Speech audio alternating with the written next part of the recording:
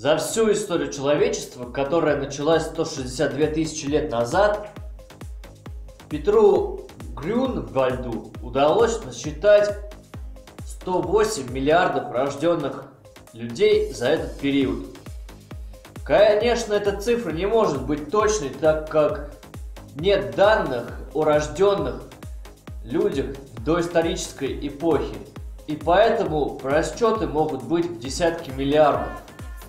Но тем не менее, это адекватное предположение, нежели теория некоторых ученых о том, что сейчас на Земле проживает столько же человек, сколько умерло за всю историю. Конечно же, это бред, если знать о первых засвидетельствованных артефактах, принадлежащих человеку, датируемых 162 тысячи лет назад, где-то ранее, а где-то даже и более – но если брать в расчет библейские сказки, то, судя по ним, человечеству около пяти тысяч лет. И приверженцев такого учения до сих пор очень много. Но с развитием интернета становится все больше людей, имеющих доступ к альтернативным знаниям, что, конечно, не может не радовать. Так вот, если верить Гуглу, то на сегодняшний день число ныне живущих составляет более 7,5 миллиарда человек. И число таковых постоянно растет. Несмотря на нескончаемые войны, неизлечимые болезни, употребление наркотиков, табака и алкоголя, банальных ДТП, суицидов, абортов и прочих факторов. В таком тренде прироста населения больше всего виноваты страны-миллиардники – Индия и Китай – в котором в 2013 году разрешили рождать второго ребенка. В Индии рождают по 5-10 человек детей. Если я прав, это делается для того, чтобы в дальнейшем обеспечить себе достойную старость. А Китай, в свою очередь, выходит за счет здорового образа жизни. Например, за наркотики там предусмотрена смертная казнь. Ну и вообще, во всем мире здоровый образ жизни и критическое мышление стали привлекать все больше и больше людей, и основная заслуга этого принадлежит интернету. Что касается прогноза на будущее, то Организация Объединенных Наций приводит следующие данные. Как видим, к 2050 году население составит 9,5 миллиардов а к 2100 году 11 миллиардов. Что по мне так очень маловато, тем более во втором случае. Тут же мы видим, как гибнет Россия.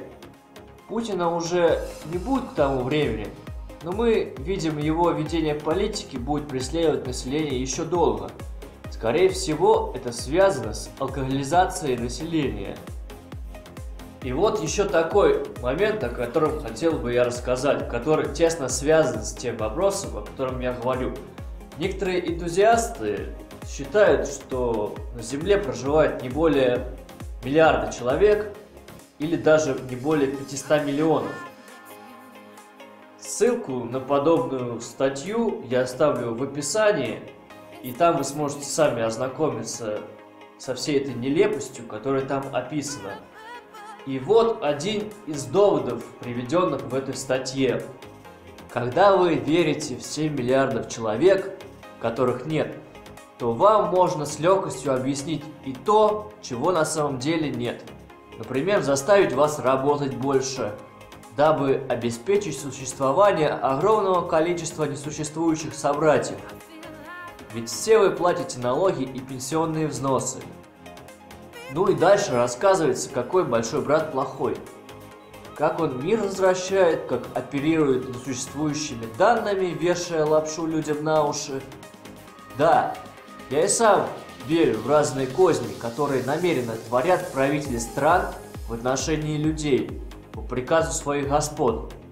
Впрочем, об этом в одном из следующих вопросов. Но нелогично получается, если верить в цифру населения, не превышающую миллиард. Я хотел сюда поставить какой-то список, но когда начал искать информацию по данному вопросу, то я оказалось настолько много, что это просто не, не представлялось возможным. Ее где-то найти. Как пример я хочу привести такую сферу, как, ну, например, футбол. Ну вот представьте себе Россию со всеми ее городами. В каждом городе есть свой футбольный клуб, и не один. Помимо этого, существуют всякие дивизионы, первый, второй, третий, там, десятый, неважно. За каждым клубом закреплен свой тренер, свои врачи, свои какие-то менеджеры и помощники и так далее. Кроме этого, я не беру в расчет детские клубы, которые вообще э, существуют по одноводке. Таким образом, если представить